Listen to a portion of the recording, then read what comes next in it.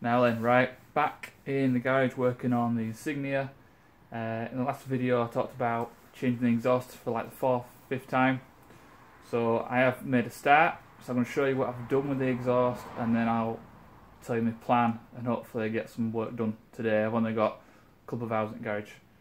Um, so yeah, last week I took the car apart again and I took the DPF off. Um, got the DPF, so I'll put some footage of that in the corner of the screen took it off, gutted it, cut a hole in it, chiselled out all the internals, uh, wore a, a, mask, and the, I imagine the dust is very hazardous. Uh, so got the exhaust, got the cat, uh, sorry, the DPF, left the cat in, got the DPF, TIG welded it back up, um, and then on the bottom, I've gone from what was one and a half inch to a three inch pipe. So I'll show you that now.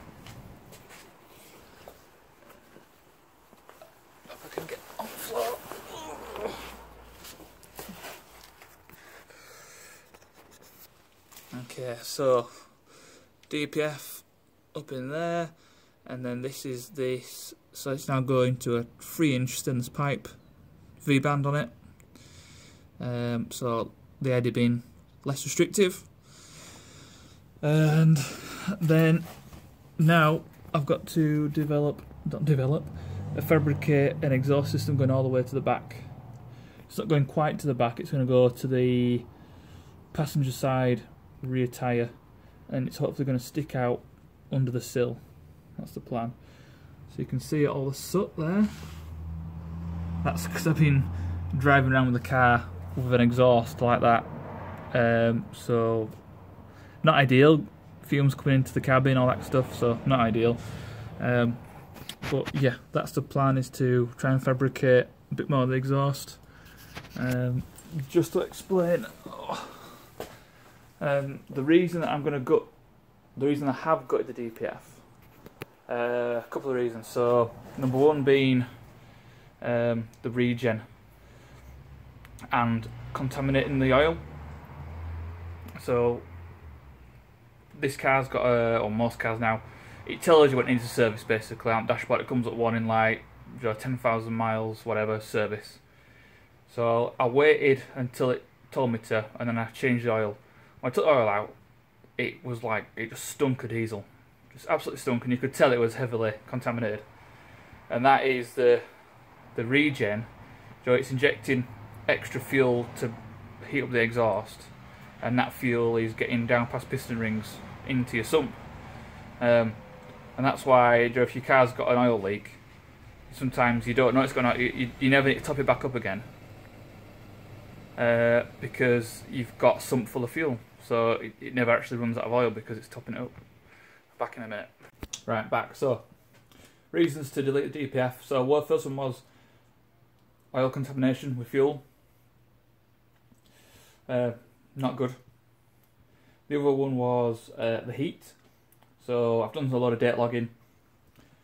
the DPF, the exhaust gets up to like 600 degrees during regen, which is very, very hot. Normally, it's like now with no DPF, going for a quick drive, it gets up to about 300 degrees and then it cools down quite quick after that. So yeah, the heat. The other reason, was sort of performance. So with my car, as the DPF got full, you, kind of noticed it getting a bit sluggish. It never, not slow, but definitely sluggish. And then it did a regen, and then after regen, it went like a rocket ship. Talking about a slow diesel, but it went quicker.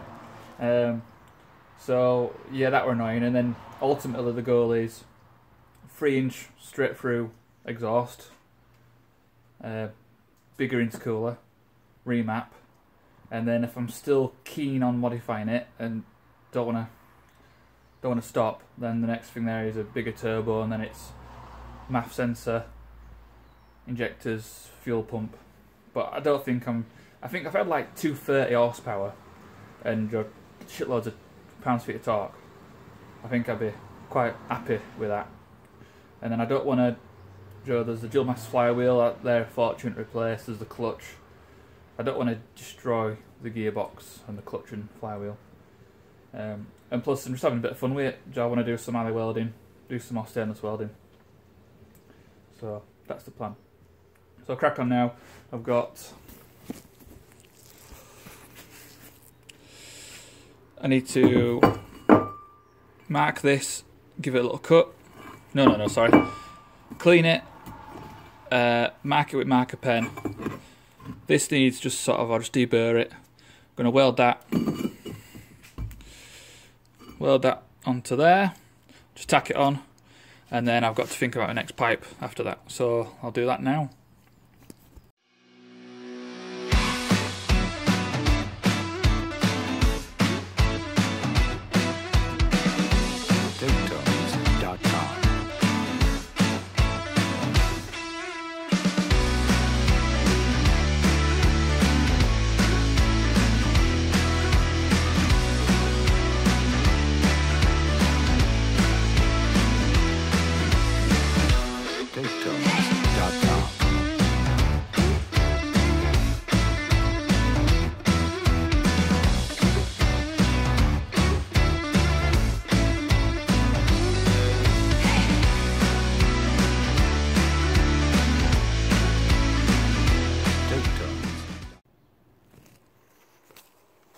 Okay then, so time to pack up. I'll just show you what I've done. I've not been able to fully seam weld it, but I've made some good progress.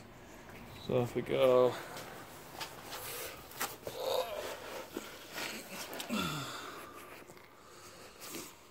Okay. I probably didn't say earlier that I've had to MIG weld this stainless onto the DPF. Uh, just because it was a massive gap and it was just easier just to, to MIG it. It's not quite, it's a bit ugly, but it's covered by a heat shield. So, flexi section there, and then we've got a bend, a straight, and then a bend. Then it goes down to the hanger. Slide under this car. Um, so I've just drawn a little line there.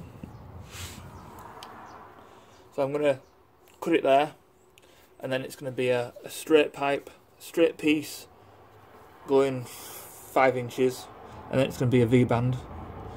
And then I want to reuse these mounts, so I don't quite know how I'm going to do it, but I'm going to get some some, bar or tube or bolts, and um, weld something onto there. I'll, I'll think about that and show you in the near future. Um, I've got a spacer under there uh, just to sort of simulate the position. So I've got some up movement and then I've got some down movement once that space is gone and the mounts are on. So it's pretty tight under here where my finger is. Uh, so I'm worried that as the engine moves that might rub. I've only got maybe 10 mil gap on the top there. So it might be that if that rubs, I'll actually notch out the tube, put a cut out a square, and then weld in a, a piece so that there's a notch in it, so it doesn't rub. I don't want this exhaust to rub anywhere on the bottom of the car. But anyway, that's it for now. So all these joints need fully welded. But so far so good, and I think it looks pretty good with you. Three inch exhaust underneath. But uh, yeah, thanks for watching. I'll knock this video on the head there, and uh, see you in the next one.